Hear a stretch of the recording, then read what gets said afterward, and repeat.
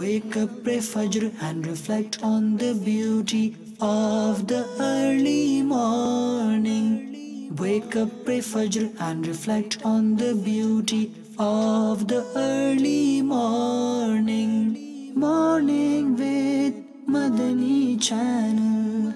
আলহামদুলিল্লাহ রবিল আলমিন ওসলাত ওয়াসালাম আলা সৈয়দুল মুরসালিন আম্মা বাদ ফাউযু বিল্লাহি মিনাশ শাইতানির রাজিম বিসমিল্লাহির রহমানির রহিম আসসালাতু ওয়াসসালামু আলাইকা ইয়া রাসূলুল্লাহ ওয়া আলা আলিকা ওয়া আসহাবিকা ইয়া হাবিবাল্লাহ। আসসালাতু ওয়াসসালামু আলাইকা ইয়া নবিয়াল্লাহ ওয়া আলা আলিকা ওয়া আসহাবিকা ইয়া নূরাল্লাহ। মাদানী চ্যানেলে দর্শকবৃন্দ উপস্থিত হয়েছি। সকালের প্রোগ্রাম যার নাম হচ্ছে সকাল কাটুক মাদানী চ্যানেলের সাথে। আপনারা যে যেখান থেকে আমাদের অনুষ্ঠানটি দেখছেন, আপনাদের সকলকেই জানাই আমাদের অনুষ্ঠানের পক্ষ থেকে অনেক শুভেচ্ছা এবং অভিনন্দন।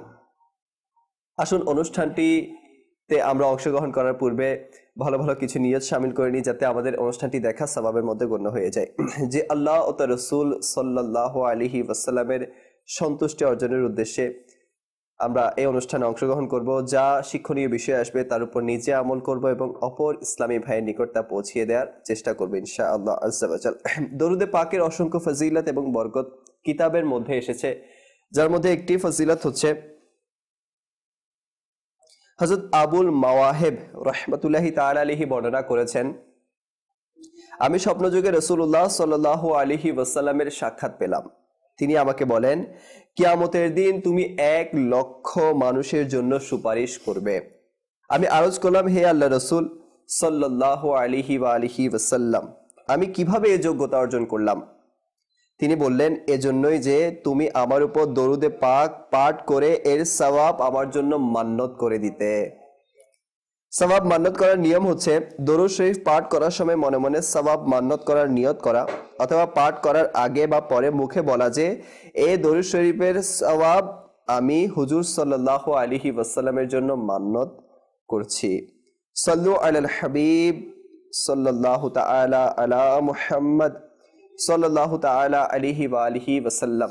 মাদানী চ্যানেলের দর্শকবৃন্দ, আসুন অনুষ্ঠানটি শুরু করব আমরা কোরআনে পাকের তিলাওয়াতের মাধ্যমে। সাল্লু আল হাবিব সাল্লাহ তালা আলা মোহাম্মদ সাল্লাহ তালা আলিহি বা আলিহি ওয়াসাল্লাম। প্রিয় ইসলামী ভাইরা, মাদানী চ্যানেলের দর্শক শ্রোতা, আসুন আমরা কোরআনে পাকের তিরোধ শ্রবণ করার পূর্বে কিছু ভালো ভালো নিয়োজ করে নিই। কেন হাদিসে বাকের মধ্যে রয়েছে, নিয়তুল মিনি খৈরমিনা আমালি। মুসলমানের নিয়ত, তার আমল অপেক্ষা উত্তম।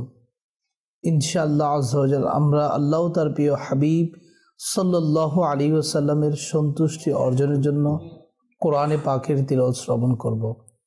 মনোযোগ সহকারে, আদব সহকারে কোরআনে পাকের তিলত শ্রবণ করব।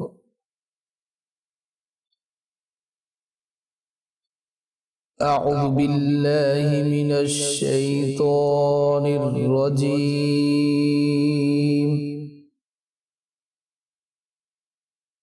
بسم الله الرحمن الرحيم.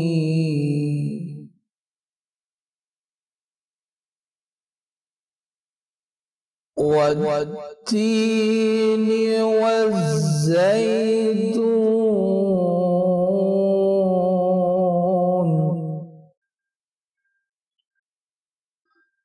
وطور سينين وهذا البلد الأمين.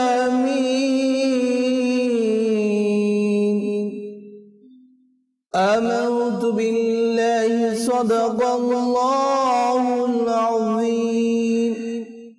وصدق رسوله النبي الحبيب. الكريم صلوا على الحبيب সাল্লাহ তাআলা সাল্লাল্লাহু তাআলা আলা সাল্লাল্লাহু মুহাম্মদ তাআলা আলাইহি ওয়া সাল্লাল্লাহু আলিহি ওয়াসাল্লাম মাদানী চ্যানেলের দর্শকবৃন্দ আমরা আহ, কোরআনে পাকের তেলাওয়াত শ্রবণ করার সৌভাগ্য অর্জন করলাম আজকে আমরা যে পার্টিকুলার সাবজেক্ট নিয়েছি তা হচ্ছে অপরের দোষ অন্বেষণ জি হ্যাঁ এটা আমাদের সমাজে এক আহ, ব্যাধি হয়ে গিয়েছে যে আমাদের সমাজের মানুষ একে অপরের দোষ অন্বেষণ করে বেড়ায় বা আমরা নিজেরাই একে অপরের দোষ খুঁজ- বেড়াই কে কি করছে, কার কি ত্রুটি রয়েছে, কার কতটুকু কমতি রয়েছে, ঘাটতি রয়েছে, সেগুলোর দিকে আমরা বেশি দৃষ্টিপাত দেই কিন্তু হওয়ার কথা এটা ছিল যে আমরা নিজেদেরগুলো যাচাই করে সেগুলো সংশোধন করব। হওয়ার কথা এটা ছিল যে নিজের মধ্যে কি ত্রুটি রয়েছে, নিজের মধ্যে কি দোষ রয়েছে, সেগুলো আমরা সংশোধন করার চেষ্টা করব। কিন্তু আজ আমরা সমাজে এর উল্টো চিত্র দেখতে পাই। এক ব্যক্তি একবার এক বুজুগ রহমতুল্লাহ তাল আলহির কাছে গিয়েছিল বায়াত গ্রহণ করার জন্য। তখন ওই ব্যক্তি, ওই বুজুগ রহমতুল্লাহ তাল আলহির মধ্যে একটা ত্রুটি পেয়েছিল। ওর চোখে একটা ত্রুটি চোখে পড়ে গেল। তো সেখান থেকে বায়াত গ্রহণ না করে চলে আসলো। এভাবে আরেকজন বুজুর্গ রহমতুল্লাহ তাল আলহির কাছে গেল। সেখান থেকে উনি একটা ত্রুটি বের করে ফেলল।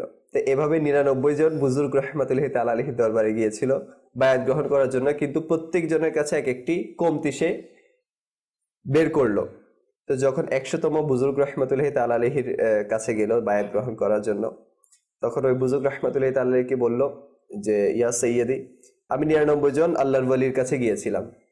ওদের মধ্যে থেকে প্রত্যেক জনের কাছ থেকে একটা একটা করে আমি ত্রুটি বের করেছিলাম। নিরানব্বইটা ত্রুটি পেয়েছি। যার কারণে আমি ওদের কাছে বায়াত গ্রহণ করিনি। আমি শেষ পর্যন্ত আপনার কাছে আসলাম বায়াত গ্রহণ করার জন্য, কিন্তু এমনিতেই হব না, আমিও আপনাকে দেখব। আমি অনেক তীক্ষ্ণ দৃষ্টি সম্পন্ন আমি আগে আপনাকে যাচাই বিচাই যাচাই বাছাই করব। এরপর আপনাকে আমি মানে সিদ্ধান্ত নিব যে আপনার আপনার কাছে বায়াত গ্রহণ করব কি করব না। তবে বুজুর্গ রহমতুল্লাহ তালাহি বলল যে, তুমি তো নিরানব্বই জনের কাছ থেকে নিরানব্বইটা ত্রুটি বের করে ফেলেছো। ওই নিরানব্বইটা যখন তোমার চোখের সামনে এখন আছে, তো আমার কাছ থেকেও তুমি কোনো না কোনো ত্রুটি বের করে ফেলবে আর আমি এমনিই বদকার আল্লাহর অলিদের শানি এটা, তারা নিজেদের গুণ প্রকাশ করে না, নিজেদের খামিয়াগুলো প্রকাশ করে। তো বলল যে, আমার কাছ থেকে তো অটোমেটিক তুমি আরও পেয়ে যাবে। তো বলল, কিন্তু একটা পরামর্শ তোমাকে দিতে পারি। তুমি যদি ওই নিরানব্বই জন থেকে ত্রুটি বের না করে, যদি তাদের গুণ বের করতে, আজ তোমার কাছে নিরানব্বইটা গুণ থাকতো। আর তুমি আমার মধ্যেও গুণ খুঁজে পেতে। এখন তোমার চোখের সামনে যখন ত্রুটি আছে আমার শত গুণ থাকলেও তোমার চোখে গুণ ধরা পড়বে না ত্রুটি ধরা পড়বে। তোমাদের এই চ্যানেলের দর্শকবৃন্দ, বলার উদ্দেশ্য এটা যে আমরা অপরের দোষ খুঁজে বেড়াই, কিন্তু নিজেরগুলো দেখি না বা অপরের গুণগুলো আমরা দেখেও না দেখার ভান করি। তো ইনশাআল্লাহ অপরের দোষ অন্বেষণ করা কেমন এবং তার কি ক্ষতি রয়েছে এবং তা থেকে কিভাবে বাঁচা যায় ইনশাআল্লাহ আজ্জা ওয়াজাল আমরা মোবাইলকে দাওয়াত ইসলামী থেকে আজকে মাদালি ফুল শ্রবণ করবো আমাদের আহ, রমজান ভাই নাথ খে ইসলামী ভাইও রয়েছেন আসুন আমাদের অনুষ্ঠানে এখন আহ, নাতে রসুল মকবুল সাল্লাহ আলহি ওয়াসাল্লাম আহ, শামিল করবো সাল্লু আল হাবিব সাল্লাহ তাআলা আলা মুহাম্মদ সাল্লাহ তাআলা আলহি ওয়ালিহি ওয়াসাল্লাম صلى الله عليك يا رسول وسلم عليه.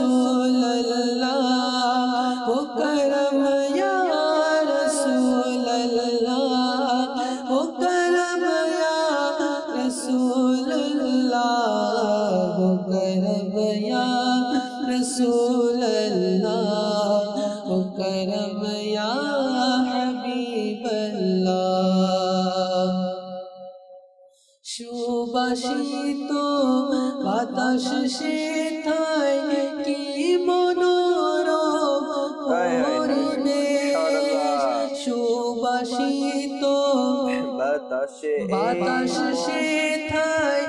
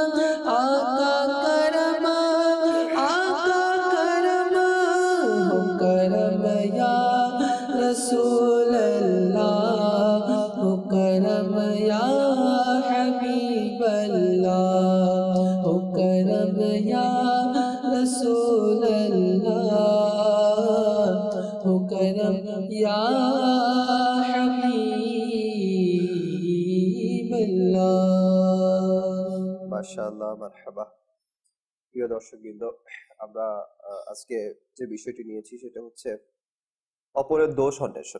আজকে আমাদের অনুষ্ঠানে মোবাল্লিকে দাওয়াত ইসলামী হিসেবে উপস্থিত রয়েছেন মোহাম্মদ ফারুক ওনাকে আমাদের অনুষ্ঠানের পক্ষ থেকে শুভেচ্ছা এবং অভিনন্দন। তো, ফারুক ভাই, আমি আপনার কাছে জানতে চাইব, অপরের দোষ অন্বেষণ করা কেমন? কেমন ঘৃণিত কাজ এটি? আলহামদুলিল্লাহ রব্বিল আলমিন সালাত ওসালাম আলা সঈদুল মুরসালিন। আম্মা বাদ। অপরের দোষ ত্রুটি বের করা খোঁজা। আল্লাহ তালা কোরআনুল করিমের মধ্যে অপরের দোষ খোঁজার জন্য মানা করেছে। আল্লাহ তালা কোরআনুল করিমের মধ্যে ইরশাদ করেন ওয়ালা তাজাসু মানে তোমরা পিছনে লেগে থাকো না। পিছনে লেগে থাকা মানে তো মুসলমানের পিছু নিও না। মানে সে কি করছে? তার কি মানে তার কি দোষ রয়েছে? সে কোথায় যাচ্ছে? কি করতেছে? মানে তাকে অপমানিত করার জন্য তাকে লাঞ্ছিত করার জন্য তাকে বিপদে ফেলার জন্য তার দোষ মানে কুঁচতে থাকা। এটা আল্লাহ তালা মানা করে দিয়েছে কারণ হাদিসে বাকের মধ্যে রয়েছে যে নবী করিম সাল্লাহ আলী ওসাল্লাম ইরশাদ করেন তোমরা মুসলমানের দুস্তুটি খুঁজে বের করো না। যদি তোমরা যদি মুসলমানের দুস্তুটি খুঁজে বের করো তাহলে আমি তোমাদের দোষগুলো প্রকাশ করে দেব। আল্লাহ তালা দোষ প্রকাশ করে দিবেন। আমাদের কত দোষ রয়েছে কত আমাদের কি রয়েছে খারাপই অভ্যাস রয়েছে খারাপ অভ্যাস রয়েছে। তো আমরা যদি অপর কোনো মুসলমানের দোষ বের করি, দোষ প্রকাশ করি, তাহলে আল্লাহ তালা যদি আমার দোষ মানুষের সামনে প্রকাশ করে দেন। হাদিসে পাকের মধ্যে এমনও রয়েছে, যদিও সেই ঘরের মধ্যে দরজা বন্ধ করে কোনো খারাপ কাজ করেছে বা কোনো মানে এমন একটি কাজ করেছে যা মানুষের সামনে করলে সে লজ্জা পাবে, সেই কি হবে, অপমানিত হবে। এমন কাজ যদিও সে ঘরের মধ্যে করেছে। মনে করেন দরজা বন্ধ করে করেছে কেউ নেই। সিসি ক্যামেরাও নেই। মানে লোকের অগোচরে। তাহলে আল্লাহ তালার ক্ষমতা আছে যে ওই যে দরজা বন্ধ করে সিসি ক্যামেরা নিয়ন্ত্রিত ছাড়া রুমের মধ্যেও যদি গুণা করে বা কোনো খারাপ কাজ করে তাহলে আল্লাহ তালা এগুলো প্রকাশ করতে। কিনে অক্ষমতা নন অক্ষম নন। আল্লাহ তালা প্রকাশ করে দিবে। প্রকাশ করে দিবেন তো আল্লাহ তালা এই জন্য এখন নিষেধ করে দিয়েছে তোমরা মানে মানুষের দুস্তুটি খুঁজ করিও না প্রকাশ করিও না। কারণ এটা মানুষের মধ্যে অনেক ধরনের মন্দ স্বভাব রয়েছে। মানে একটা মন্দ স্বভাব মারাত্মক মন্দ স্বভাব হচ্ছে মানুষের দুস্তুটি খোঁজা। এটার কারণে মানুষ নিজেও লজ্জিত হয়ে যায় অনেক সময়। কারণ ইজ্জত সম্মান আর সম্মান দেওয়ার মালিকও আল্লাহ নিয়ে নেওয়ারও মালিক। নিয়ে নেওয়ারও মালিক আল্লাহ। আল্লাহ যাকে চান তাকে সম্মান দান করেন আর যাকে চান তাকে লাঞ্ছিত করেন। আল্লাহ তালা তো সম্মান বাড়িয়ে দেন মুসলমানের মুমিনের তো লাঞ্ছিত নিজের কারণে হয়ে থাকে। নিজের কারণে নিজের মানে আমলের কারণে সেই নিজেই নিজে লাঞ্ছিত হয়ে যায়। তো আমাদের উচিত মুসলমানের দুস্তুটি খোঁজা দেখে নিজেকে বাঁচিয়ে রাখা। কারণ এটার কারণে নিজেরও বিপদের সম্মুখীন হতে হয়। আরেকটা ফারুক ভাই সেটা হচ্ছে যে অনেক মানুষেরই কাজই হচ্ছে অপরের কি দোষ ত্রুটি রয়েছে সেগুলা খুঁজে বেড়ানো। তাই না? জি। অপর দোষ ত্রুটি আহ, অপর অপরজন কি করছে তার মানে অনেকে এমন থাকে যে সে পুরা দিনই ভালো কাজ করল। মানে পুরা দিন ভালো কাজ করার পর তার চোখে একটা খারাপ সামনের কোনো ব্যক্তির চোখে পড়ে গেল। বাস ওইটা নিয়েই মানে কথা বলা শুরু করে দেয়। বা আপনার কোনো একটা বস কোনো একটা অফিসের বস জি জি। বা তার অধীনস্থ যারা অধীনস্থ যারা সে পুরা দিন ভালো কাজ করল সেটা চোখে পড়ল না। সামান্য একটা খারাপ বা কোনো একটা ত্রুটি চোখে পড়ল সেটা নিয়ে সেটা পুরা দিন তাকে কথা শোনানোর কাছে লেগে থাকে। তো এই অভ্যাসগুলো আসলে খুবই খারাপ অভ্যাস। কেননা আমি কেমন সেটা আমি জানি।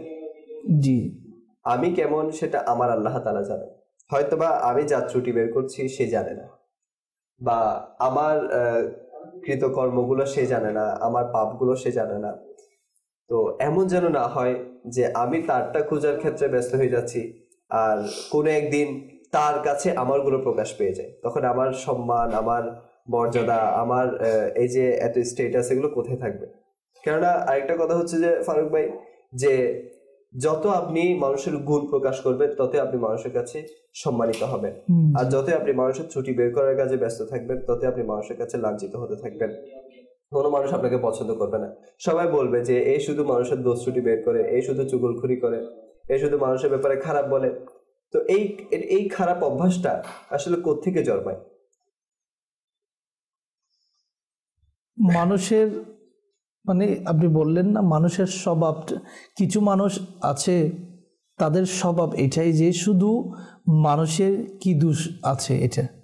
তার গুণগুলো সে প্রকাশ করে না, বা গুণগুলো দেখে না।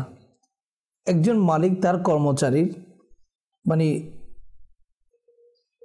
তার ডিউটির ওয়ার্কের মধ্যে সে অনেক ভালো কাজ করেছে, তার ঠিকমতো কাজ আদায় করেছে, কিন্তু একটা ভুল হয়ে গেছে। এই এটা এই ভুলটাকে কেন্দ্র করে সে তাকে কি করবে যে মানে তাকে হেয়পন্ন করা, তাকে ধমক দেওয়া, শুধু তার গুণগুলো দেখে না। মানে তার একটা দোষ যে রয়েছে ওইটাকে কাজে কাজে লাগিয়ে সেই এই কাজটা করে থাকে। অথচ এটা করা যায় যে দোষ ত্রুটি বের না করে তাকে বোঝানো যায়। জি। বা তার গুণগুলোকে আগে প্রকাশ করে যে মার্শাল্লাহ আপনি অনেক ভালো কাজ করেন। আপনার এই- এই কাজকর্মগুলো অনেক ভালো। আপনার ডিউটি আপনি পরিপূর্ণভাবে পালন করেন। তো ওইগুলো বর্ণনা করে এরপর যে খামিয়া রয়েছে ত্রুটি রয়েছে এটা সংশোধন কীভাবে করা যায়? আচ্ছা। একটা কথা হচ্ছে যে সংশোধন করারও কিন্তু একটা প্রসেস আছে। ইসলাম আমাদেরকে শিখিয়েছে কীভাবে সংশোধন করতে হবে। এখন আমরা কি করি? যে ভরা একটা মজলিস আছে ওখানে কারও ত্রুটি দেখলাম সবার সামনে তাকে ঝাড়ি দিয়ে দিলাম। সবার সামনে তাকে অপমানিত হয়ে অপমানিত হয়ে গেল। কিন্তু ইসলাম আমাদেরকে কি শিখায়? যে আপনার সংশোধন করার ইচ্ছা হয়েছে আপনি তাকে একা সংশোধন করুন। একা নিয়ে গিয়ে কোথাও বা একা তার সাথে বসে তার যে ত্রুটি রয়েছে সেগুলো বুঝান। এখন না সেটা না। যে আমাকে উপরে থাকতে হবে। আমাকে এই এখানে সবার থেকে লেভেল উপরে রাখতে হবে আমার লেভেলকে সেক্ষেত্রে আমি নিজে চিন্তা করি না। আমি একজন বস অফিসের বস ঠিক আছে? আমার অনেক মান সম্মান আছে আমার অনেক স্ট্যাটাস আছে। সমাজের মধ্যে বলেন অফিসে বলেন ঘরের বাইরে বলেন ফ্যামিলিতে বলেন আমার একটা স্ট্যাটাস আছে। আমাকে যদি কেউ রাস্তার মধ্যে কেউ যদি তাপ্পর মারে জি। কেউ যদি আমাকে অপমানিত করে তাহলে আমার কেমন লাগবে? তখন সে বলবে যে মানে আমরা নিজেরা বলি দিই, এই, আমার একটি স্ট্যাটাস আছে না? আমার একটা দাম আছে, তুমি আমার সাথে এরকম ব্যবহার কেন করছ? মানুষজন দেখছে না? তো যখন নিজের ক্ষেত্রে এরকম হয় তাহলে আমার অধীনস্থ একজন কর্মচারী আমি তাকে অপমানিত করলাম মানুষের সামনে। আরও যারা তার কলিগ রয়েছে তাদের সামনে যদি আমি তার মানে তাকে অপমান করছি তার যেমন আমার যেমন লাগছিল তারও তো এমন লাগার মানে কি কথা? যে যে আমি যেভাবে রেসপেক্ট পাওয়ার একটা আশা করি আমি যেভাবে অপরের কাছ থেকে সম্মান পাওয়ার আশা করি সেও তো তা আশা করে তাই না? অবশ্যই আশা করি। সে তো চায় না যে তার কোথাও অপমান হোক সেও কোথাও লাঞ্ছিত হোক। তো আমি যেখানে নিজের জন্য যেটা পছন্দ করি সেটা কেন অন্যজনের জন্য পছন্দ করব না? আমি যেভাবে অন্য আমি যেভাবে চিন্তা করতেছি যে রমজান ভাই আমাকে সম্মান দিক ভালোভাবে কথা বলুক আমার গুণগুলাই প্রকাশ করুক আমার ত্রুটিগুলো যাতে তিনি কখনো প্রকাশ না করুক তো কেন আমি রমজান ভাইয়ের ত্রুটিগুলো অপরের সামনে প্রকাশ করে দিব? তো এটা একটা বিষয়। আরেকটা হচ্ছে যে যে আমরা আমাদের লেভেলের উপরের মানুষদেরকে একটা যেটা আমি দেখি যেটা আমরা উপলব্ধি করি সেটা হচ্ছে যে আমি যে অবস্থানে আছি ওই অবস্থানের উপরের লেভেলের কেউ থাকলে তাদের ত্রুটি কখনো আমি প্রকাশ করি না। সে আমার বস সে আমার উপরে আছে সে আমাকে প্রমোশন দেওয়ার ক্ষমতা রাখে বা সে আমাকে আগে নিয়ে যাওয়ার ক্ষমতা রাখে। তো আমি ভয়েও ওইটা বলি না। কিন্তু আমার অধীনস্থ যারা যাদের সাথে আমি যাদেরকে আমি ক্ষমতা দেখাতে পারব তো ভাই ক্ষমতা আপনি আজকে দেখাতে পারতেছেন। জি জি। কবরের কোথায় যাবে আপনার ক্ষমতা না তখন তো বোঝা উচিত। আমি আজকে তার উপর ক্ষমতা খাটাচ্ছি। আমার উপর তো আল্লাহ তালা রয়েছে। আমার উপর তো আল্লাহ তালা রয়েছে। তো আমি কার উপর ক্ষমতা কাটাচ্ছি আমি তো মানে আমি আমার অধীনস্থকে অপমান করছি লাঞ্ছিত করছি। যদি আল্লাহ তালা আমাকে লাঞ্ছিত করেন আমার যদি বেইজ্জতি করেন তাহলে তখন আমার কি হবে? আমি আমার বসকে দেখতেছি ঠিক আছে? বসও তো আমাকে আমি যখন আমার অধীনস্থকে কি করাচ্ছি? লাঞ্ছিত করছি তো আমার বসও আমাকে লাঞ্ছিত করবেন। কারণ আমি যেটা করব আমারও আমার বেলায়ও সেরকম হবে। জি এটাই। আরেকটা হচ্ছে যে আমি অপরকে হিংসা না করি। আজ দোষ ত্রুটি এগুলো বের করার আরেকটা মাধ্যম কারণ হচ্ছে হিংসা। আমরা একজনকে হিংসা করলাম বা সে উপরে কেন যাচ্ছে সে উন্নতি কেন করছে সে বসের অতি প্রিয় কেন হয়ে যাচ্ছে সে অন্যের অতি প্রিয় কেন হয়ে যাচ্ছে তো তার দোষ ত্রুটিগুলো গিয়ে অন্যের কাছে প্রকাশ করে দিই যাতে সে কারও কাছে প্রিয় হতে না পারে সে কারও কাছে ভালো হতে না পারে। ঠিক সেম ভাবে যারা স্টুডেন্ট আছে এরাও এরাও যখন একজনকে দেখে যে সে সামনের দিকে যাচ্ছে তখন অন্যদেরকে সে বলে যে না এ ভালো না এর এমন দোষ ত্রুটি রয়েছে। বা টিচারের ক্ষেত্রে সেটা আমরা লক্ষ্য করি যে টিচার অনেক সময় স্টুডেন্টের দোষ ত্রুটিগুলো সবার সামনে প্রকাশ করে দেয়। তো এই ক্ষেত্রেও আপনার বোঝার বোঝানোর আন্দাজটা হতে হবে। দিন ইসলাম আমাদেরকে কীভাবে কীভাবে এই অভ্যাসের কারণে জি। এই মানে মানুষের পিছনে লাগা থাকার অভ্যাসের কারণে অনেক ধরনের সে গুণার মধ্যে লিপ্ত হয়ে যায়। আপনি বললেন এই মানে মানুষের যাদের স্বভাব আছে যে অন্যের দোষগুলা বের করার কাজে লেগে আছে তো তারা গিবদের মধ্যে পড়ে যায় চুগলখড়ির মধ্যে পড়ে যায় হাসদের মধ্যে পড়ে যায় আরও অনেক মিথ্যার আশ্রয় নিতে হয়। মিথ্যা মিথ্যার আশ্রয় নিতে হয়। যদি ফারুক ভাই যা করে নাই তা আমি বলে দিই অনেক সময়। জি জি জি। ফারুক ভাইয়ের মধ্যে যা নাই তাও আমি বর্ণনা করে দিচ্ছি। আমার মধ্যে যা নাই সে অন্য কেউ সেটা তাই বর্ণনা করে দিচ্ছে। তাহলে আমাকে নিচে দেখানোর জন্য সে মিথ্যার আশ্রয় নিচ্ছে। টার্গেট হচ্ছে যে তার দোষ আমাকে বের করতে হবে। এটা টার্গেট নিয়ে যখন সে নেমে যায় তখন এই ধরনের গুণার মধ্যে লিপ্ত হয়ে যায়। যদিও তার মধ্যে মানে ওই দুষ্টা নেই সেই ওই দুষ্টা বাড়ি বলতেছে। তাহলে সেই বহুতানের মধ্যে চুগলখুরির মধ্যে পড়ে যাচ্ছে। মিথ্যা বলতেছে এর গুণাও হচ্ছে। তার মধ্যে এটার কারণে যে হাসত সৃষ্টি হচ্ছে অহংকার সৃষ্টি হচ্ছে তার কারণেও সেই গুণার মধ্যে লিপ্ত হয়ে যায়। এটা কেমন একটা স্বভাব দেখেন মানে কেমন একটা খারাপ অভ্যাস যার কারণে সেই অনেক গুণার মধ্যে লিপ্ত হয়ে যায়। তো এই জন্য আল্লাহ তালা আমাদেরকে নিষেধ করেছে তোমরা কোনো মুসলমানের দোষ ত্রুটি বের করো। বের করো না। দুস্তুটি গোপন করার অনেক ফজিলত রয়েছে ইনশাল্লাহ আমরা সামনে ফারুক ভাই মানুষ যদি চায় না কেউ খুব সুন্দর বলেছেন মানুষ যদি চায় তাহলে ফুলের মধ্যেও ত্রুটি বের করতে পারে। জি। যদি তার ত্রুটি বের করা সে মন মানসিকতা থাকে ফুলের মধ্যেও নাকি ত্রুটি বের করা যায়। আর মানুষ যদি চায় তাহলে কাটার মধ্যেও উপকারিতা বের করতে পারে। জি জি গুণ বের করতে পারে। কাটারও কোনো না কোনো গুণ বের করতে পারবে যদি আমার সে মন মাইন্ড থাকে। তো মেইন হচ্ছে মন মাইন্ড। মেইন হচ্ছে আমার আমার মন কি বলছে? আমার অন্তর কি চাচ্ছে? আমি কি আমার সামনেওয়ালা ব্যক্তিটার গুণটা প্রকাশ করতে চাচ্ছি নাকি তার দোষটা প্রকাশ করতে চাচ্ছি? আমি যদি দোষ প্রকাশ করার মন মাইন্ড যদি বানিয়ে নিই তার হাজারো আমার গুণগুলো চোখে পড়বে না। চোখে পড়বে না। চোখে পড়বে না আর আমি পড়তে দিব না আমার চোখে।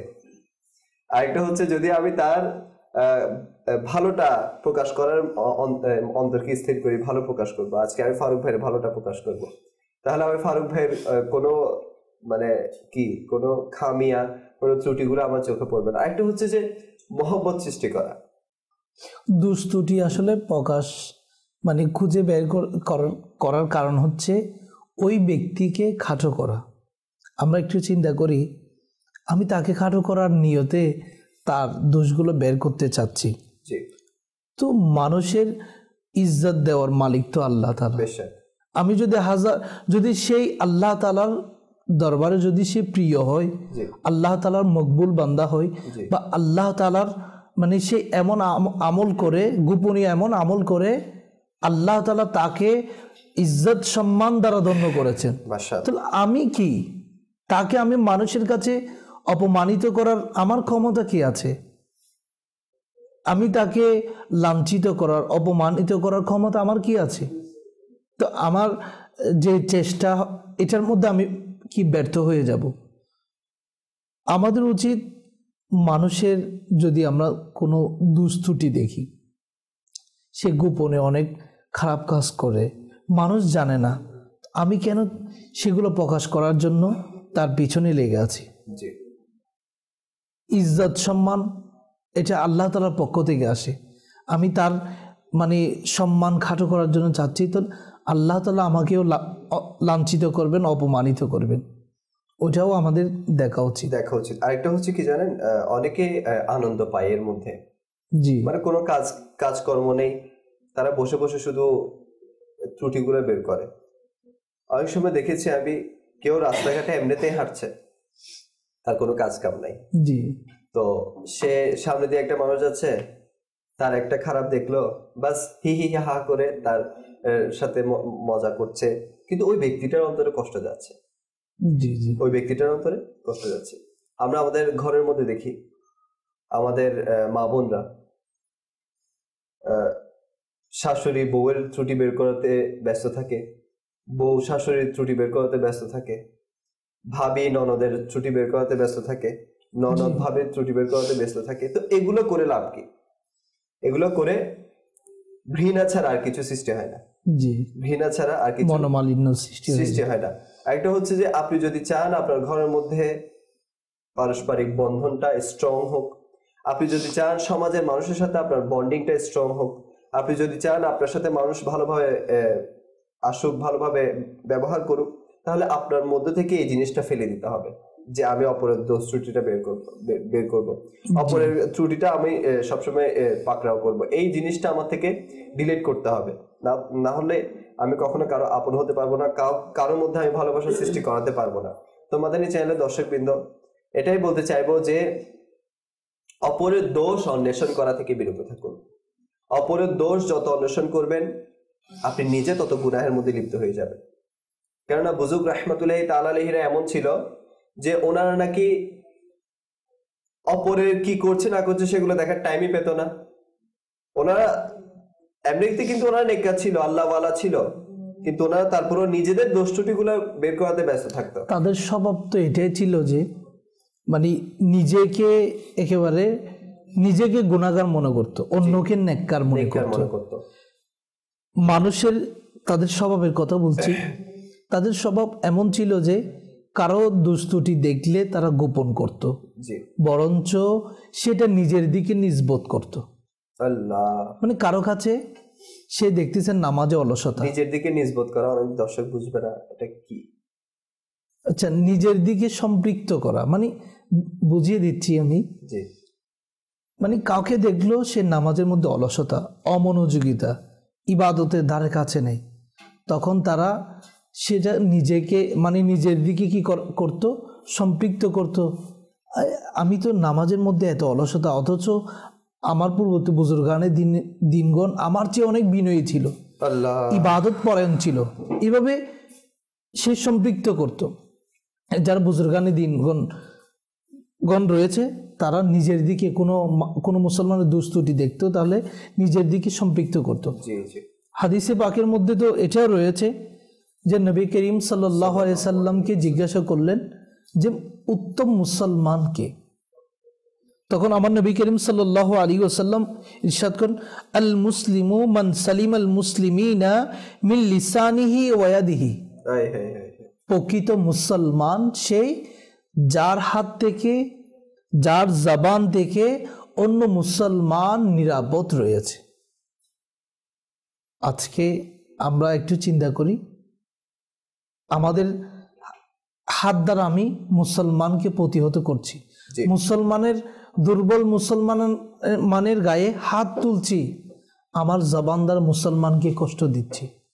এই জবান দ্বারা। এই জন্য আমার নবী করিম সাল্লাম হাদিসে বাকে এই দুইটা শব্দ দুইটা অংশ দুইটা পার্ট মানুষের বডিতে তো অনেক পার্ট রয়েছে অনেক অঙ্গ প্রত্যঙ্গ রয়েছে।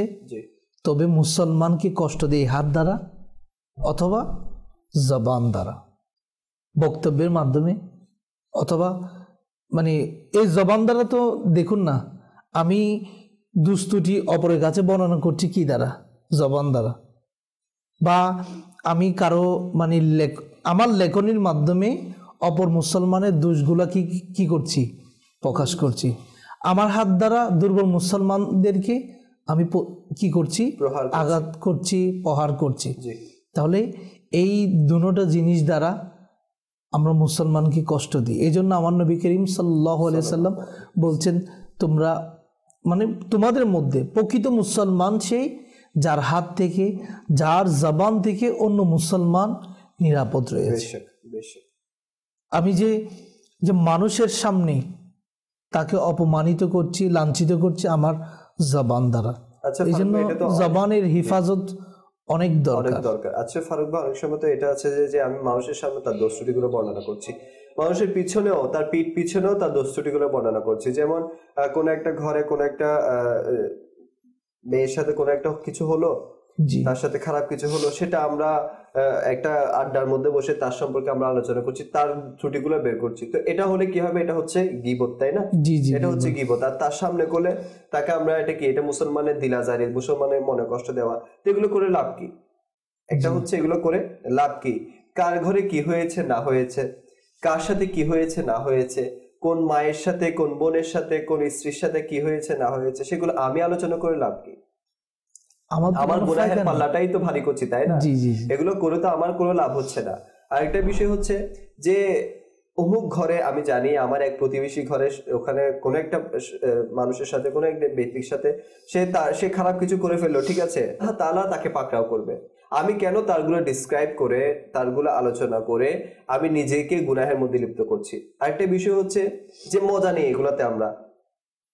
একটা মেয়ের সাথে খারাপ কিছু হয়েছে সেটা নিয়ে আমরা আলোচনা করে মজা নিই। একটা ছেলের সাথে খারাপ কিছু হয়েছে সেটা আলোচনা করে আমরা মজা নিচ্ছি। কোন কারও মিয়া বিবির সাথে দ্বন্দ্ব হয়েছে সেগুলো আলোচনা করে আমরা মজা নিচ্ছি। সেগুলো তাদের ব্যাপার। সেগুলো তাদের পারিবারিক ব্যাপার। একটা কথা হচ্ছে আমরা নিজেকে সংশোধন করতে পারিনি অন্যজনকে সংশোধন কীভাবে করব? নিগ্রহ আসলে খুব সুন্দর কথা বলেন যে তার অন্তরের ময়লাকে পরিবর্তন পরিষ্কার করতে পারল না সেই সমাজের ময়লাকে কীভাবে পরিষ্কার করবে? তো আগে তো নিজের ময়লাকে পরিষ্কার করি। নিজের অন্তরের ময়লাকে পরিষ্কার করি নিজেকে সংশোধন করি তারপর না হয় আরেকজনকে সংশোধন করতে যাব। আমি যদি আমার গুনাহের লিস্ট লিখতে যাই তাহলে লিস্ট শেষ হয়ে যাবে। গুনাহ শেষ হবে না। এমন আমরা খারাপ কাজ করি অন্যের প্রতি দেখার আগে নিজেকে দেখি। নিজেকে দেখি নিজের কি অবস্থা। আঙ্গুল দুইটা অন্যের দিকে যখন আমি দিব তিনটা তো আমার দিকে রয়েছে। ওইটা তো দেখি। জি। আমার মধ্যে কত দোষ যে রয়েছে আল্লাহ তালা আমার দোষকে কি করেছেন? গোপন রেখেছে তো হাদিসে পাকের মধ্যে রয়েছে যারা মুসলমানের দোষ দেখার পরও গোপন রাখবে এর ফজিলত কি? আল্লাহ তালা কিয়ামতের দিন তার দোষগুলো আল্লাহ তালা গোপন করবেন। বিশ্বাস আল্লাহ তালার একটা সিফতি নাম হচ্ছে সত্তারুল অয়ুব যে দোষ গোপনকারী। বেশক। একটু তো চিন্তা করো ভাই। যেখানে এত গুণা করছি এত নাফরমানি করার পরও আল্লাহ গোপন করেছেন। তো আমি কেন মুস- অপর মুসলমান ভাইয়ের দোষগুলা দেখার পরও গোপন করছি না? বা তার দোষগুলা খোঁজার পিছনে কেন লেগে আছি? জি। আমরা একটু চিন্তা করি যদি আজকে আমরা দুনিয়াতে মুসলমানের দুষ দুষ বের করার জন্য লেগে আছি বা দুষ প্রকাশ করছি কিয়ামতের দিন আমার যখন নামায়া আমাল আমল নামা যখন পাঠ করানো হবে কুটি কুটি বান্দার সামনে যখন পাঠ করা হবে তখন আমার কি অবস্থা হবে? আমরা ওই কথা চিন্তা করি লিয়াকত ভাই। আল্লাহ তালা চাইলে আমার হাজারো দোষ রয়েছে আল্লাহ তালা চাইলে কি গোপন রাখবেন? আর যদি আল্লাহ তালা নারাজ হয়ে যায় আল্লাহ তালা যদি এই বলে নারাজ হয়ে যায় তুমি তো দুনিয়াতে মুসলমান ভাইয়ের দোষ মানে খোঁজার কাজে ব্যস্ত ছিলে তাহলে আমি তোমার দোষ গোপন করব না। তখন আমাদের কি অবস্থা হবে? কি অবস্থা হবে? আর আমাদের সোশ্যাল মিডিয়াতে একটা ইসলামী ভাই কমেন্টও করেছেন যে মহিলাদের মধ্যে এই অভ্যাসটা বেশি দেখা যায়। এ ব্যাপারে আপনি কি বলবেন? আসলেই বাস্তব যে ঘরের মহিলারা কিন্তু যে অপরের কি করছে না করছে পাশের বাসার মা খালা চাচা চাচি জেঠি এরা কি করছে না করছে কি করছে মানে কি ওদের দোষ ত্রুটি এগুলোতেই ব্যস্ত। মানে বাস্তব বাস্তবিক অর্থে আমার আকা আলী সাল্লাম কিন্তু বলেছিলেন যে মেয়েরাজের রাতে আমি অধিকাংশ জাহান নামে দেখেছি মহিলাদেরকে। যে তারা গিবতের করার কারণে তারা কি করে যাবে জাহান নামে যাবে। তো আসলে মা বোনদের মধ্যে এটা বেশি দেখা যায় যে তারা অপর দোষ ত্রুটি দোষ ত্রুটিগুলো খোঁজার ক্ষেত্রে ব্যস্ত হয়ে যায়। এটার এটার কয়েকটা কারণ আছে। জি। তোর মধ্যে একটা কারণ হচ্ছে ইলমেদিন না থাকা। আরেকটা হচ্ছে মানে তাদের কাজকর্ম ইবাদতের মধ্যে নিজেকে যদি ব্যস্ত রাখতে পারতো ভালো কাজের মধ্যে মানে স্বামীর সেবার কাজের মধ্যে যদি তারা নিজেকে ব্যস্ত রাখতে পারতো স্বামীর মা বাবার খিদমতে যদি নিজেকে ব্যস্ত রাখতে পারতো স্বামীর ছেলে মেয়ে নিজের ছেলে মেয়েকে লালন পালনের কাজে যদি ব্যস্ত থাকতে পারতো না তাহলে তারা এই অভ্যাসের মধ্যে গ্রেফতার হতে পারতো না। কারণ শয়তান তো মানে কুমন্ত্রণা দিতে আছে শয়তান তো লেগে আছে আমাদের পিছনে। বসে আছি বসে আছি শুধু চিন্তা করি যে ওই ব্যক্তিটা কি করছে। আমার পাশের বাড়ির সেই সকালে কোথায় গেছে রাত্রে দেরিতে কেন আসছে তারা মানে চেঁচামেচি আপনি যা বললেন এরই। তার ঘরের মধ্যে এত চেঁচামেচি কেন? আমি একটু তারপরে আমি একটু ঘরে গিয়ে দেখি। শাশুড়ির সাথে ভালোভাবে বিহেভ করে না। শাশুড়ির সেবা করে না তো এটা হচ্ছে হ্যাঁ, জি জি কুমন্ত্রণা। জি জি জি। একটা হচ্ছে কুমন্ত্রণা তো আছে শয়তান কুমন্ত্রণা দিচ্ছে নফস আরেকটা হচ্ছে নিজেকে ইবাদতের থেকে দূরে রেখেছে। যদি একটা ব্যক্তি কোনো কাজে যদি ব্যস্ত থাকে পড়ালেখার কাজে অথবা চাকরির কাজে অথবা ব্যবসার কাজে তাহলে সেই অনেক ধরনের গুণা থেকে বাঁচতে পারে। আর যারা অলস হয়ে বসে থাকে মা বোনরা তো ব্যস্ত না ব্যস্ত না ওনারা তো অনেক কাজ করে। ওরা তো ঘরে সকাল থেকে শুরু করে রাত পর্যন্ত কাজ করে। তারপরে ওনাদের মধ্যে এই অভ্যাসটা কেন জাগে? যে পাশের বাসার মহিলারা কি করছে না করছে পাশের বাসার আন্টিরা কি করছে না করছে পাশের বাসার বউটা কি করছে না করছে এগুলো নিয়ে আলোচনা জি জি। এগুলো তাদের মধ্যে সচরাচর দেখা যায় আসলে এগুলো আমাদের মানে কি বলব সমাজ এমন হয়ে গেছে মানে পরিবেশ এমন হয়ে গেছে আমরা যদি এই শিক্ষাটা দিতে পারতাম পরিবারের মধ্যে আমরা যদি মাদানী মহল অর্থাৎ পরিবেশ ভালো পরিবেশ সৃষ্টি করতে পারতাম হাদিসে পাক শোনাতে পারতাম। কারণ এমন অনেক মুসলমান গড় রয়েছে যেখানে ইলমি দিনে কোনো আলোচনা নেই। তারা দেখছে অপসংস্কৃতিতে তাদের ঘর ভরে ভরা রয়েছে। তো কীভাবে তারা এই কোরআন ও হাদিস সম্পর্কে জ্ঞাত হবে। আমরা যদি তাদেরকে কোরআন ও হাদিস সম্পর্কে অবহিত করতে পারতাম তাহলে তারা এই ধরনের গুণা থেকে বাঁচতে পারতো। আপনি এই হাদিসে পাক যদি কাউকে বলেন হয়তো অনেক অধিকাংশ মুসলমান রয়েছে যারা এই হাদিসে পাক সম্পর্কে তাদের কোনো জ্ঞান নেই যে যে ব্যক্তি কোনো মুসলমান ভাইয়ের দুষ দেখার পরও গোপন রেখেছে আল্লাহ তালা কিয়ামতের দিন তার দুষ গোপন রাখবেন। ইনশাল্লাহ আমি আপনার কাছে ফজিলত সম্পর্কে জানব অপরের দোস্তটি গোপন রাখা কি ফজিলত? দর্শক কল করেছেন কল সামিল করব। জি।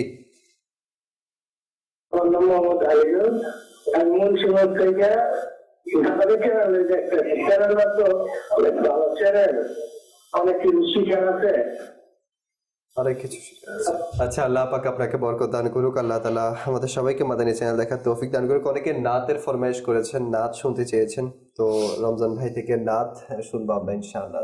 সাল্লু আল হাবিব সাল্লাহ তাআলা আলাম মোহাম্মদ সাল্লাহ তাআলা আলাইহি বা আলিহি ওয়াসাল্লাম। সাল্লি আলা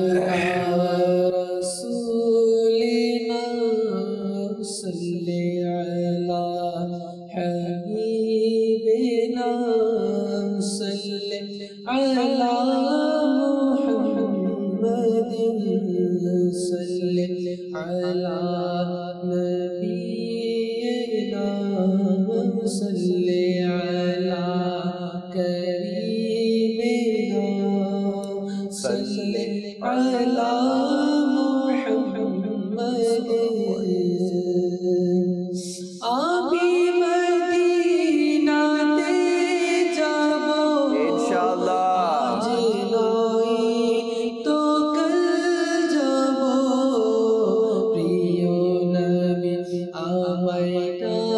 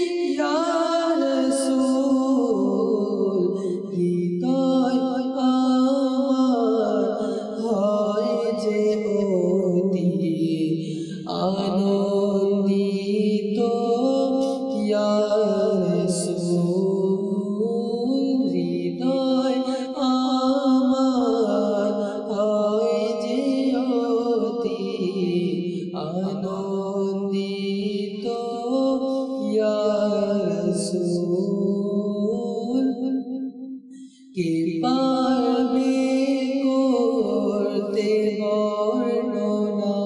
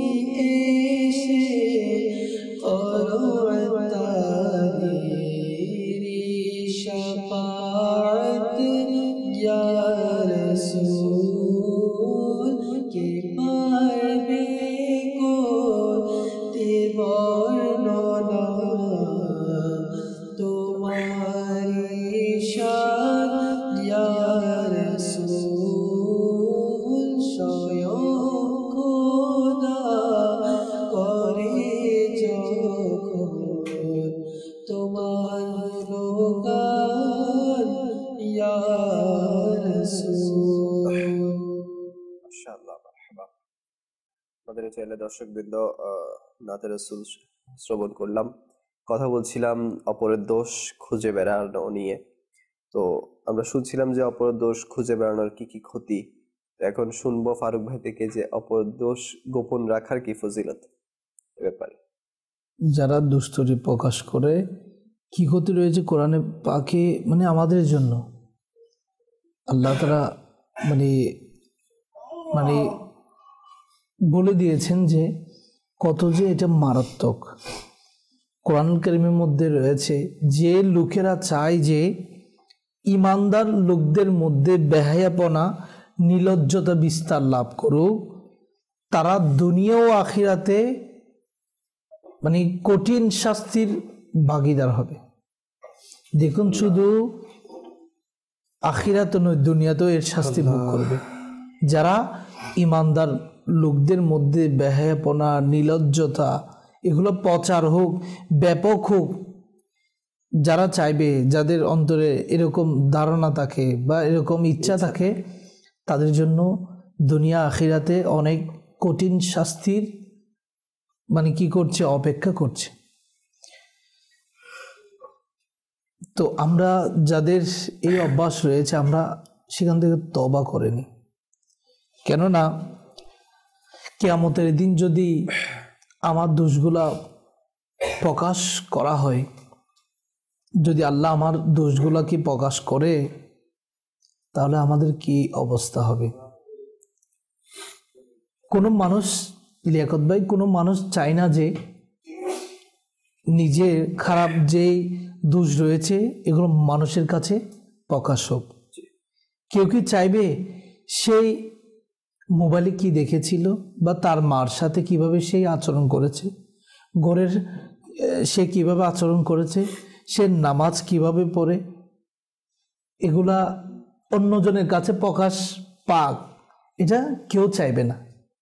চাইবে? এরকম কোনো মানুষ আছে? সে কি করতেছে? মানে সেই যত ধরনের গুনাহের কাজ করছে। এগুলোকে আমরা দোষ বলব অবশ্যই। তো এগুলো মানুষের কাছে প্রকাশ পাক এটা কেউ চাইবে না। তাহলে যারা মানে চাইবে না আমার দোষগুলো প্রকাশ পাক আমার দোষগুলো মানুষের কাছে ব্যাপক হয়ে যাক বিস্তার হয়ে যাক। আমার নবী করিম সাল্লাহ সাল্লাম তাদেরকে বলছেন যদি তোমরা নিজের বেলায় চাও তাহলে তোমরা মুসলমানের দোষ দেখার পরও এটাকে গোপন রাখো। আল্লাহ। আল্লাহ যে সত্তারুল অয়ুব এটা বিশ্বাস রেখে তাহলে মানুষের দোষ দেখার পরও, কোনো মুসলমানের দোষ দেখার পরও এটাকে গোপন রাখো। প্রকাশ্যে যারা মানে গুনাহ করে, সবাই জানে, ওইটা ঠিক আছে, ওইটা তো আর গোপন রাখার বিষয় না। একজন সরাবি মদ পান করে সবাই জানে, সমাজের মধ্যে, ফ্যামিলির মধ্যে সবাই জানে। তাহলে সেটা গোপন রাখার ক্ষমতা আমার নেই, আছে? আমি যদি বলি একজন সরাবি মদ পানকারী তাকে যদি মানে তার ব্যাপারে যদি মানুষদেরকে বলি সে মদ পান করে না সে ভালো মানুষ অনেক ভালো মানুষ তাহলে এটাকে গোপন রাখা যাবে না। কিন্তু এভাবে তো গোপন রাখা যায় যে তারগুলো আমি আর আলোচনা না করি। যে আলোচনা না করি। জি। যে হাদিসে পাকের মধ্যে রয়েছে একজন মানে শরাবি মদ পানকারী মদ পানকারীকে ধরে নবী করিম সাল্লাহ দরবারে আনলেন। আর নবী করিম সাল্লাহ আদেশ দিলেন যে তাকে প্রহার করার জন্য একজন শরাবিকে। তখন সাহাবাইকাম যারা ছিল, যারা ওই সময় ছিল, তাকে প্রহার করেছিল। যখন প্রহার করার পর ওই লোকটি চলে গেল, তখন এক ব্যক্তি বলল যে, আল্লাহ তোমাকে অপদস্থ করুক। আল্লাহ তোমাকে অপদস্থ। করুক। আমার নবী করিম সাল্লাম সেটা নিষেধ করেছেন। কারণ কোনো মুসলমান অপমানিত হোক, এটা আল্লাহও চান না। কারণ আল্লাহ তো যদি আমাদের এই অবস্থা, আমাদের গুনাহের অবস্থা, আমাদের যে কত খারাপ গুণ মানে দোষ রয়েছে, আল্লাহ তালা চাইলে প্রকাশ করে দিতে পারেন, কিন্তু গোপন রাখছে। কারণ মানে মুসলমান লাঞ্ছিত হওয়া মুসলমান অপমানিত হওয়া এটা কখনো পছন্দনীয় নয়। তো মানে দোষ গোপন রাখা এটার অনেক ফজিলত রয়েছে। আজকে আরেকটা ভাইরাস এটা হচ্ছে মানে দেখা যায় আলিমের ব্যাপারেও কি করা হয়? দোষ বের করা হয়। একজন যারা আলিমে দিন নয় এমনি বাংলা শিক্ষিত। তার দোষ বের করে না মানে সে অনেক ভালো। কিন্তু একজন আলেম যখন কোন একটা মানে ভুল করে ফেলছে বা সে আজকে জামাতে নামাজ পড়তে পারেনি তখন দেখে যায় এই এই মৌলবী সব কেন নামাজ পড়তে আসে নাই? সে মনে ঘুমাচ্ছে মানে এভাবে কত কথা বলে থাকে। সেও তো মানুষ তাই না? আলিমটাও তো যে আলিমটাও মানুষ মানুষের ভুল হতে পারে। বা কোনো অসুবিধা থাকতেও পারে। জি জি। ঠিক আছে না? ভালো ধারণা করা উচিত। আজকে সে মসজিদে নামাজ আদায় করতে আসেনি তার মানে এটা নয় যে সে নামাজ আদায় করেনি সে এটাও হতে পারে তার অসুস্থতার কারণে। ঘরে নামাজ আদায় করেছে। বা জামাতে অংশগ্রহণ করার ক্ষেত্রে সে অপারক অপারক হতে পারে। হতে পারে। তাহলে আমরা ভালো ধারণা করি। ভালো ধারণা। আচ্ছা ফারুক ভাই আমি আরেকটা বিষয় নিয়ে আপনি তো ফজিলতের ব্যাপারে বলছেন। জি। ওখানে যাওয়ার আগে আমি আরেকটা জিনিস নিয়ে আলোচনা করতে চাই সেটা হচ্ছে আজকে সোশ্যাল মিডিয়ার যুগ। জি। আমি কি করছি না করছি সেগুলো হিস্ট্রিগুলো আমি ডিলিট করে দিই যাতে কেউ না দেখে। আমি ইউটিউবে কি দেখছি আমি ব্রাউজারে কি করছি না করছি সেগুলো যাতে কেউ দেখতে না পারে আমি আমার হিস্ট্রিটা ক্লিয়ার করে দিচ্ছি। কিন্তু অন্যের ত্রুটিগুলো আমি ঠিকই রেখে দিচ্ছি। যাতে করে আমি সেগুলো প্রকাশ করতে পারি। সে যদি আমার সাথে কোনো একটা খারাপ আচরণ করে বা কোনো একটা হেরফের করে আমি তারগুলো ভাইরাল করে দিব। তো এই মন মানসিকতা থাকা কেমন? যেহেতু আজকে আজকাল সোশ্যাল মিডিয়ার যুগ মানুষ এটাতে অনেক ফাস্ট কীভাবে মানুষের ত্রুটি একটা পাবে আর সেটা ভাইরাল করবে।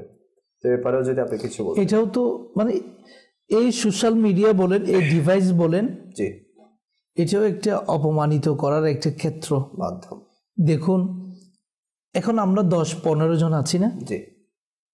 তাহলে আমি কাউকে অপমানিত করলে সে লজ্জা পাবে।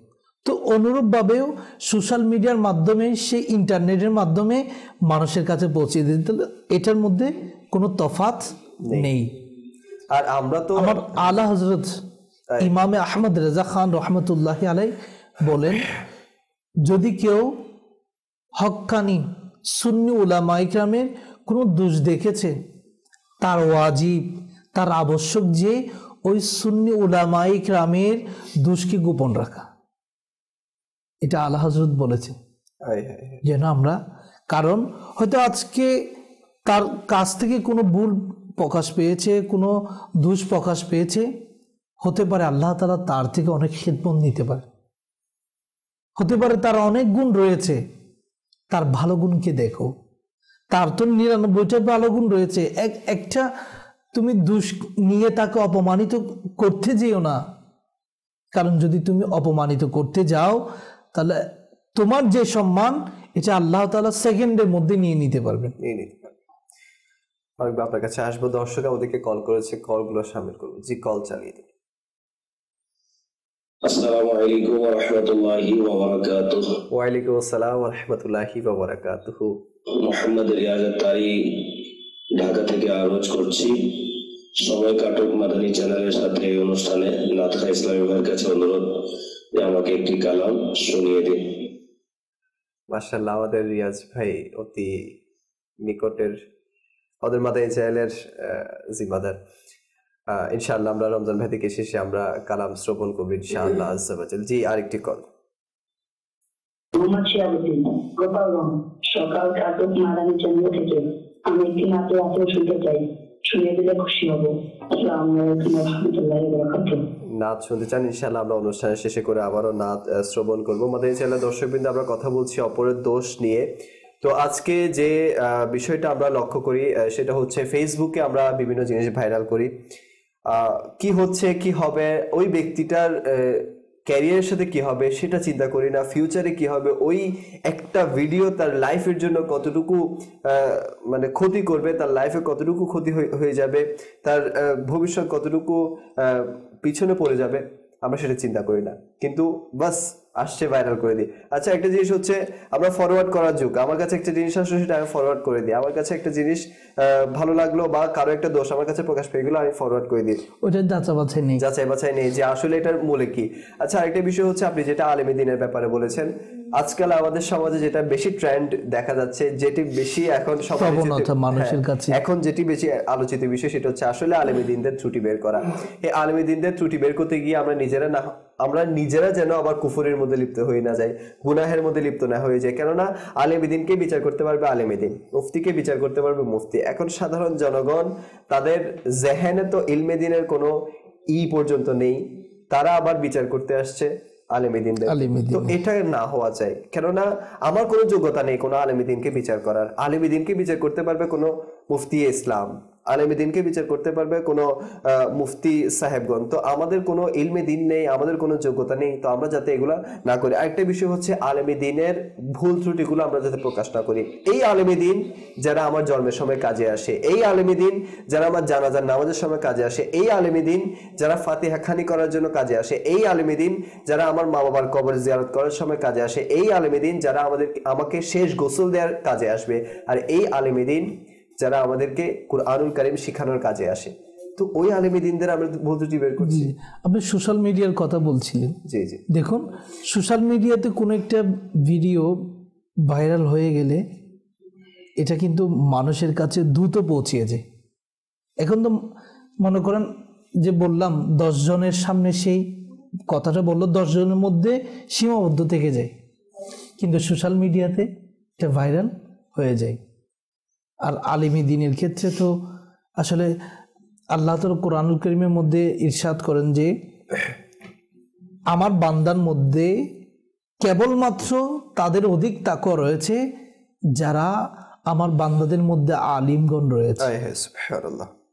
তো আমরা আলিমে দিন দিনের মানে দুষ খোঁজার ক্ষেত্রে আমরা আমরা যেন মানে তার পিছনে লেগে না যাই।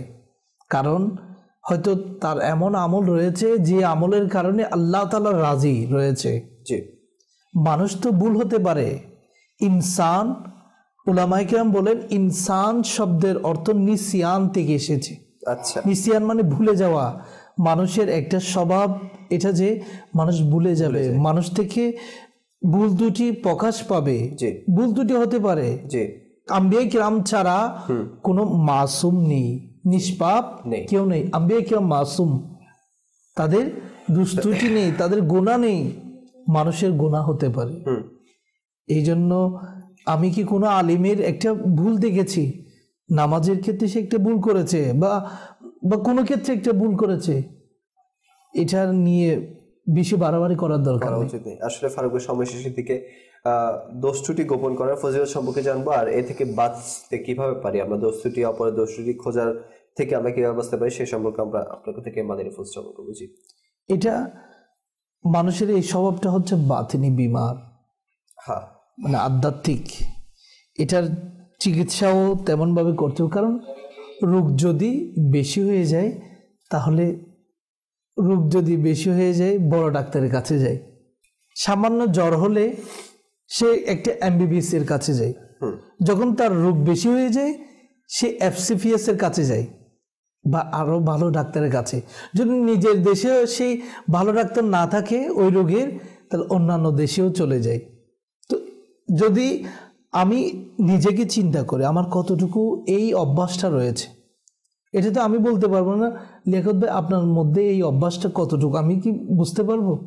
কিন্তু আপনি বুঝতে পারবেন আমার মধ্যে এই দুষ্টা কতটুকু রয়েছে? মানুষের পিছনে লেগে থাকা? তাহলে আমাকে সেই ব্যবস্থা নিতে হবে। একটা মাধ্যম হচ্ছে আমি দাওয়াত দিব দাওয়াত ইসলামের এই পরিবেশ।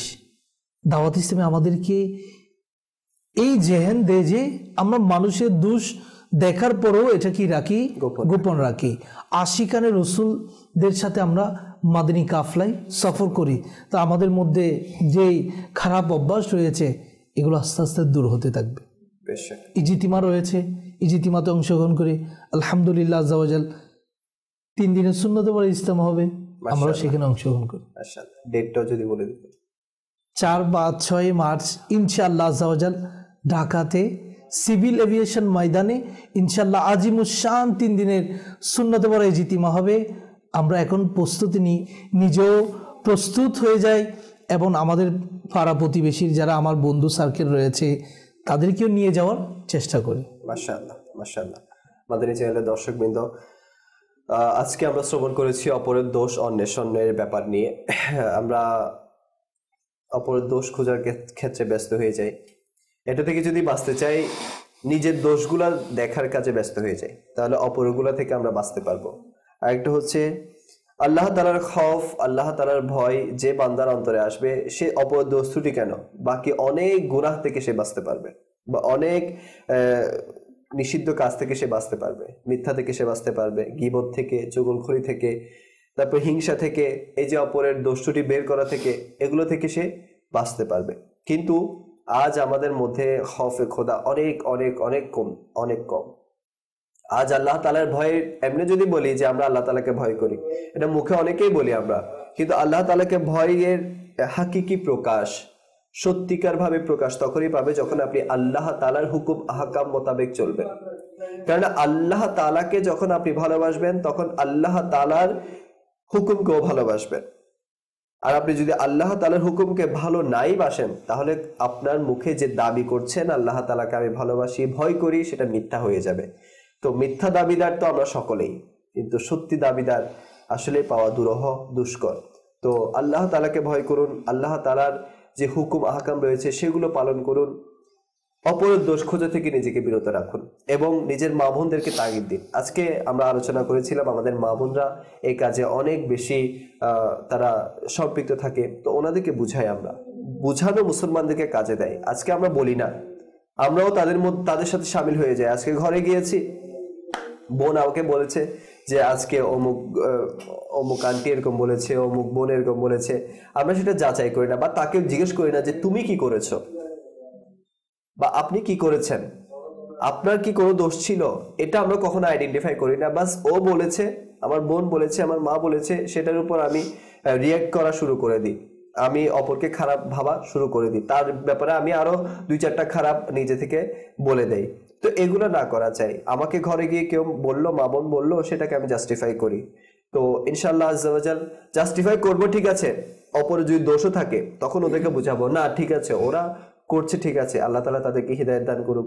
বা আমাদের তাদের ব্যাপারে কথা না বলা উচিত বা তাদের গুণগুলো প্রকাশ করা উচিত, ওদেরকে ইনফিরাতি কোশিশ করা দরকার এভাবে। বা মা বোনদেরকে ইলমে দিন ইলমে দিনের ব্যাপারে বলা উচিত, আল্লাহ তালার খফের ব্যাপারে বলা উচিত। এভাবে ইনশাআল্লাহ আজ্জাওয়াজাল আমাদের মা বোনরাও এগুলো থেকে হিফাজত থাকবে এবং যখনই আমাদের সামনে অন্য কেউ, আমাদের ফ্রেন্ড সার্কেল আমাদের বন্ধু বান্ধব বা আমাদের সমাজের কোনো মানুষ হাঁটতে, চলতে, উঠতে, বসতে, যখনই কেউ আমাদের সামনে অপরের দোষটি নিয়ে আলোচনা করতে থাকবে তখন আমরা তাকে থামিয়ে দিব। তখন বলব ভাই এগুলো বাদ দেন। আমরা তাদের গুণগুলো প্রকাশ করি। তাদের খামিগুলো আমরা না খুঁজি না বের করি। তো আল্লাহ তালা আমাদের সবাইকে যা কিছু শুনেছি এর উপর আমল করার তৌফিক দান করুক। অনেকে আমাদেরকে কালামের ফরমাইশ করেছিলেন। ইনশাআল্লাহ এখন আমাদের নাথে ইসলামে থেকে আমাদের অনুষ্ঠানে কালাম সামিল করব। সাল্লাল্লাহু আলাইহি ওয়া সাল্লাম। জীবনে হবে কি তো আল্লাহ, আল্লাহ, আল্লাহ,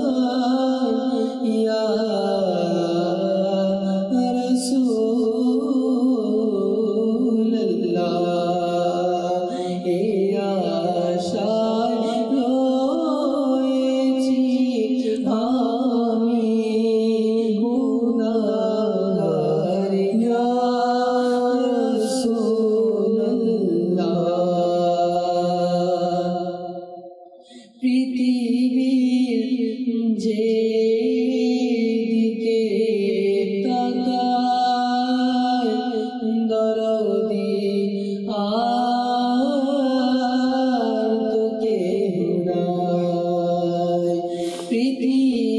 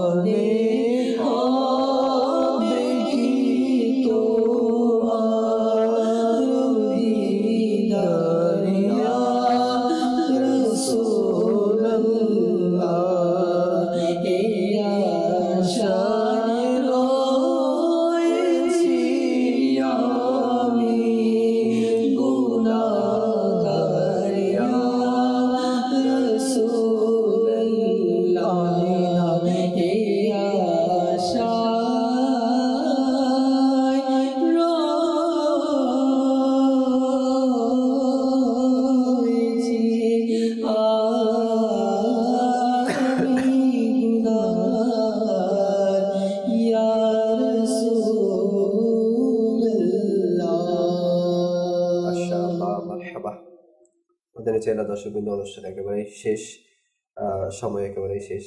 ইনশাল্লাহ দেখা হবে আগামী অনুষ্ঠানে নতুন কোনো বিষয় নিয়ে। ততক্ষণ পর্যন্ত ভালো থাকবেন সুস্থ থাকবেন। আর মাদানী চ্যানেল দেখতে থাকবেন। সাল্লু হাবিব আলা সাল্লাল্লাহু তাআলা আলাইহি ওয়া আলিহি Wake up, pray Fajr, and reflect on the beauty of the early morning.